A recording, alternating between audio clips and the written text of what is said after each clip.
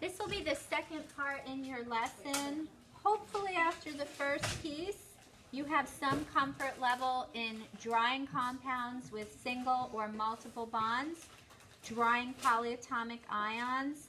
I can't emphasize enough the importance of practicing compound drawing at home prior to the next class. You want to be able to draw compounds with ease so that when we get into shape, we're only focusing on that aspect and not the drawing. Please take the time, give yourselves a good two hours between now and your next block class to master drawing of compounds. Now what you've seen thus far is mostly review from honors with a few new pieces with the polyatomic ions.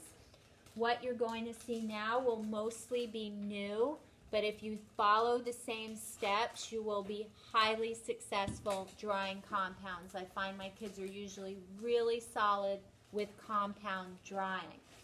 We're going to take a look at molecules that don't follow the octet rule. You saw a smidge of this last year, but not a lot. This you didn't see. Molecules with an odd number of valence electrons. In every single compound that we drew so far, you had an even, doesn't matter where we look, you had an even number of valence electrons. This will be the first time that you see an odd number of valence electrons for a compound. You often see this with compounds from group 15 and 17 as they have an odd number of valence electrons. For example, nitrogen monoxide, 5 plus 6 is 11 valence electrons. This is first time we're seeing an odd number of valence electrons. N O, what do you want to do?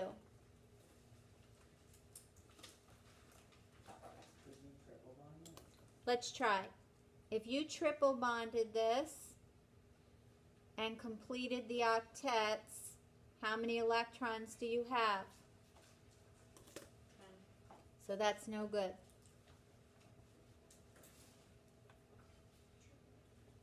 Let's try and double it complete the octet.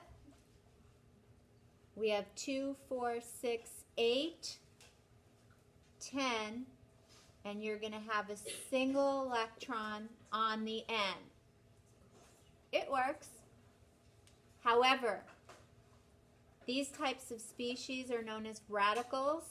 They are very, very, very reactive. They will often dimerize. So in NO, will hook to another NO to form N2O2. So these are very, very reactive. How do you know that the, the, the one electron is on the N and not the O? Formal charge. Excellent question. So here you have 6 minus 6 is 0. And here you have 5 minus 5 is 0. If you had done it the other way, you would have had 5 minus 6 is negative 1 and 6 minus 5 is plus 1. This is bad on multiple levels. You've introduced formal charge and they're going the wrong way because oxygen's more electronegative.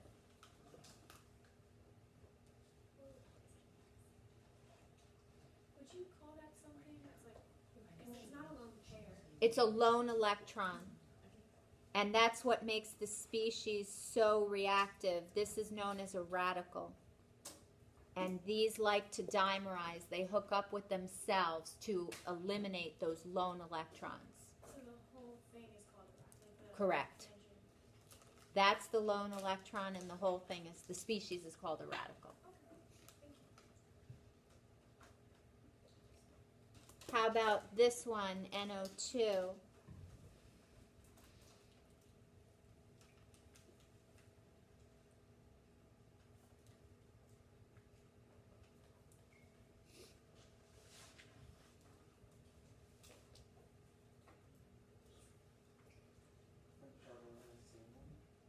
Okay, let's try.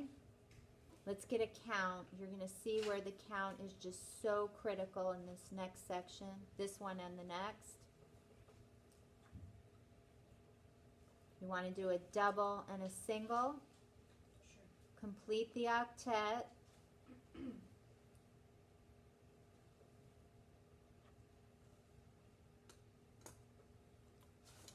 We have two, four, six, eight, ten, twelve, fourteen, sixteen, and you can pop that lone electron there as well. Would this have resonance? Yes, excellent point. Because you could have gone this way. So is it if the elements are symmetrical and you can change like because there's two O's on each side? You know, we used to really do it with perfect symmetry here, but be careful because with that bicarbonate ion, you didn't see that perfect symmetry. Um, you for the after you draw and everything, you have to do the octet rule and kind of make the full octets for the oxygens. Why don't you put two electrons on the nitrogen to complete the octet? Because you have the two. But you only have four- 17, Oh. and that's why the count's so important. Okay. Sam, Could you have done two let's check. Complete the octet on the terminals. You have 2, 4, 6, 8, 10, 12, 14, 16. Nitrogens in period 2 and elements in period 2 cannot expand their octet, which you'll learn in just a few minutes. And that's why the electron count is so important. That's why I've stressed it. I sound like a broken record. but when it comes to drawing complex structures at the AP level, I always go after a count first. Always. Try this one.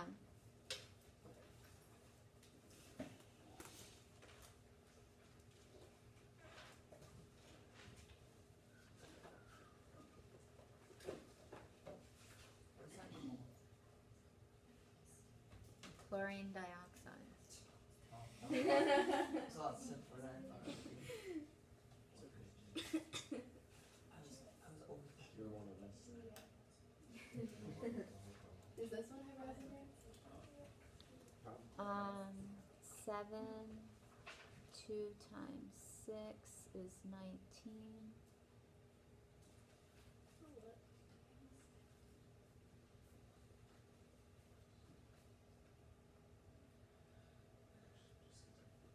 No,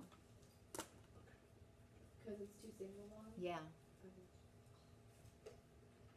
Why can't it form a double bond? Yeah, I mean, You want to make a double? that's what I did. Yeah, I did it double.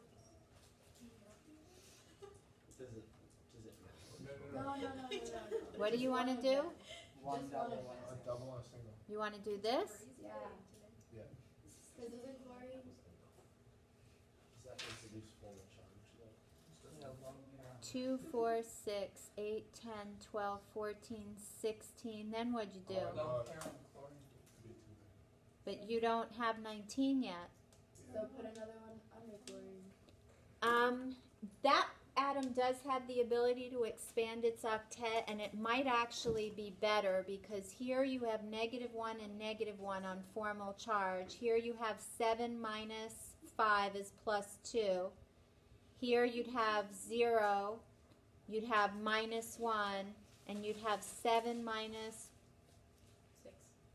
is plus 1. So yeah, this one might actually be better and it would have resonance. But I'll teach you how to expand the octet in a minute. But that's probably a better possibility. You don't usually see the halogens forming multiple bonds that much, so just be careful with it.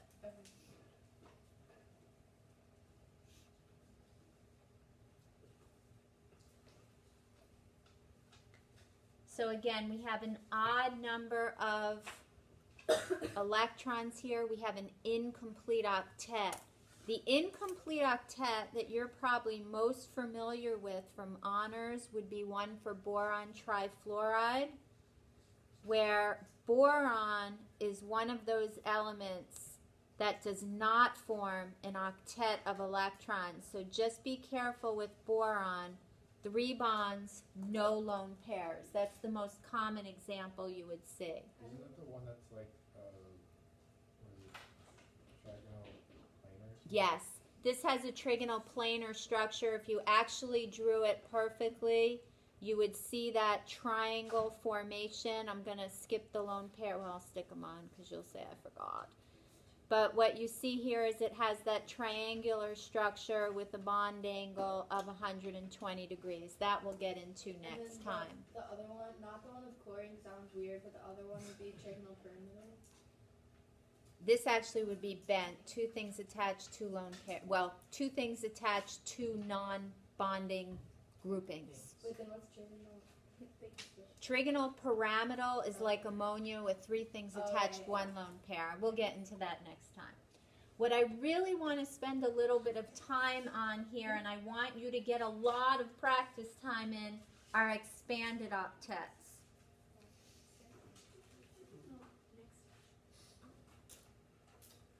The atom with the expanded valence shell contains either more than four bonds or bonds in lone pairs, but you'll have more than an octet of electrons. Here's the key written in blue. Only elements in period three or higher can have expanded octets. Does a 2D subshell exist? No. So you're never going to see an element in period two with an expanded octet. Never nitrogen, never oxygen, never carbon, never fluorine. Nothing from period two. It's got to be period three or higher. A 3D subshell does exist. Period three or higher.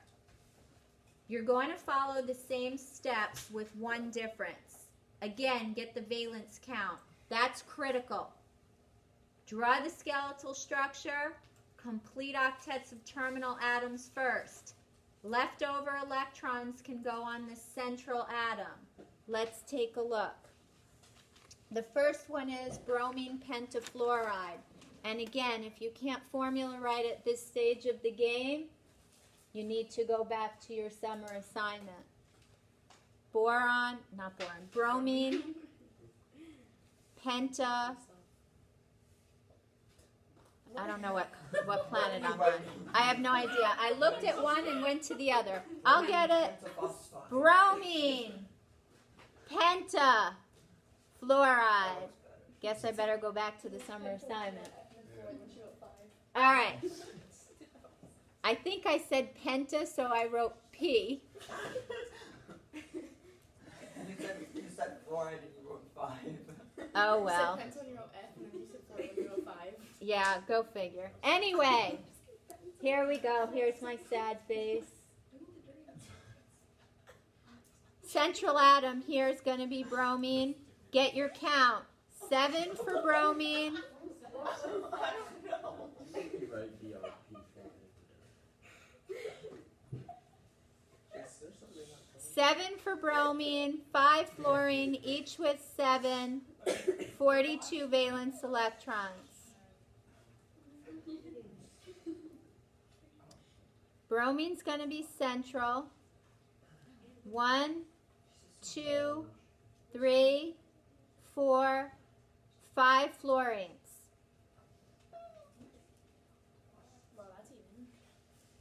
One, two, three, four, five.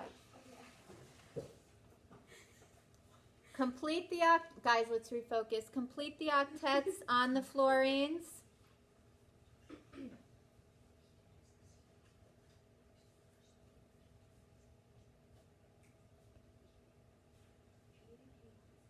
Now, with your count, make life easy. You have six dots on each fluorine. You have five fluorines. Six times five without a calculator is 30. Now watch. Take your finger to count. 32, 34, 36, 38, 40. I don't have enough electrons. I need a lone pair of electrons on the bromine. Keep that pair together. Don't put it between a stick and the atom. And please don't separate the two electrons and say, oh, it'll look prettier one on each side. No, no, no, no, no. It'll be expensive. Is that like a variable story? Y'all Shut up, Chase. I knew you were gonna say that. Alrighty. I'll pay attention on this one. Sulfur. S. Tetrafluoride. F. T, right? Four. Just kidding.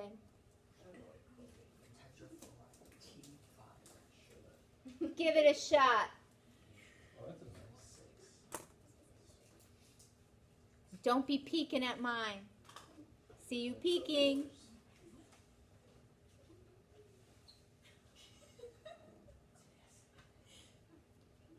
Now, if you do not get a count, you're going to make a mistake.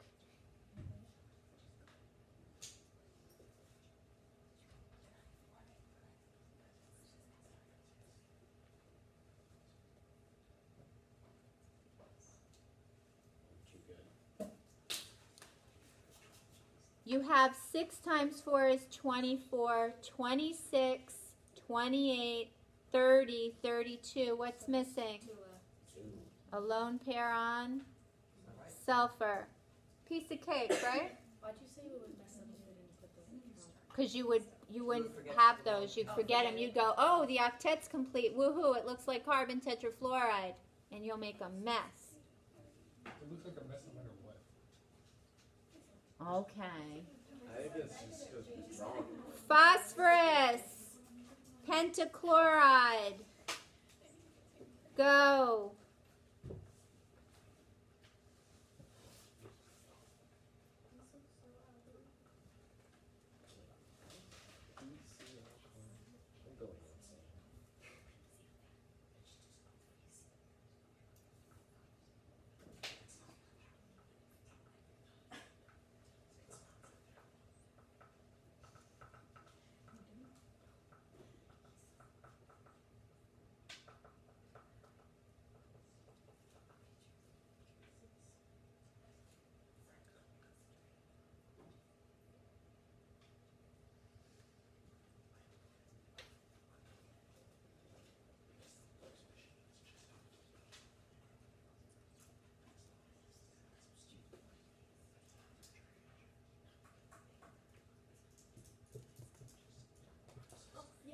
You get what I got?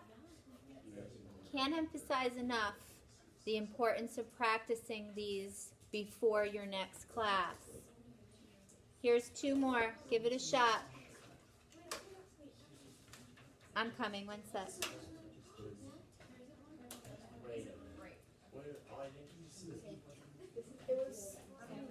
Try these two. They're on the. It. Try these two. There were no. There were no They're on the screen. Try these two. Wait, can you? Yeah. Yeah. PF6 minus. So do little bracket thingies. Did you get this? Whoa, chill. Good. Keep going. And it's got it's got an uneven. Sophie. Oh no no no no no no no! Yeah, yeah. Oh my god, I totally said that. I almost forgot that. Honestly, I know. Forty-eight. Well, why? Why does this exist? I think it's a little. Why would you ever need phosphorus hexafluoride? For the AP exam.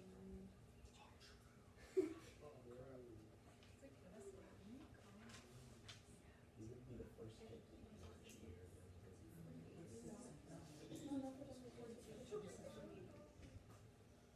Uh, Zach did. Yikes. Alex March one. Guys, marching has nothing to do with drawing compounds. Let's focus.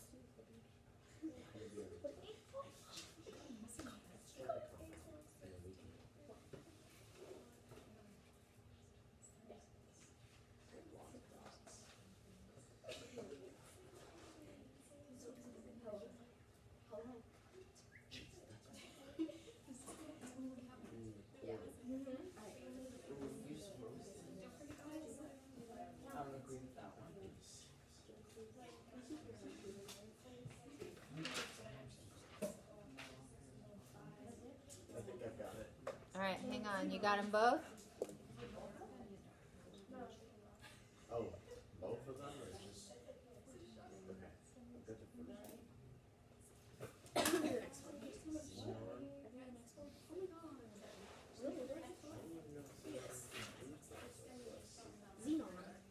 Xenon tetrachloride. Guessing I'll get gassed on you guys. These are all gases. This is what I got. You can check. Cool. Compound drawing's really kind of fun. We're going to get into the shapes next time. You'll see an octahedral shape and a square planar, but we'll get into that next time. So it just doesn't matter how many bonds it is. That would be expanded octet. Alright. You typically don't see more than six.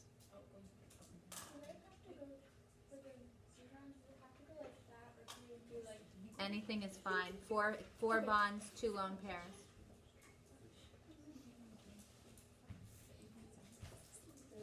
And again, can't emphasize enough the importance of mastering compound drawing before your next class. Couple more things I want to take a look at. They really fit together. We've already alluded We've already alluded to bond length. When we drew the resonance structures, we mentioned a bond length similar to one and a half, something between a single and a double. Bond order is what truly explains bond length. So when you have single bonds, you have a bond order of one, double bonds, bond order of two, triple bond order of three, or you can have in between, like one and a third, one and a half, one and two thirds, etc. When you have resonance is when you see these fractional bond orders, and we already also alluded to how you would figure that out. The number of bonds divided by the number of atoms attached directly to the central atom. So we looked at ozone. Here's a sulfate ion. How many resonance structures for a sulfate ion? Six. So what you can see here, you can calculate the bond order, but your explanation is not your calculation. You've got one, two, three, four, five, six bonds divided by the four identical oxygen atoms attached to the sulfur. Six over four is three halves or one and a half. What you really have here is six bonds allowing four oxygen atoms to be attached to the sulfur. Similarly, with the ozone, you had two oxygens attached to a central oxygen through three bonds. Essentially, you've just got a composite of everything. The average of two ones and two twos will be one and a half. And you can take a look at bond order in a little more detail. I'll give you a do now next time that explores that. Bond length we're not really going to get into except you already know that as the radius of the atom increases, the atoms cannot get as close together, hence a larger distance between them. What I do want to go over is how to calculate bond energy.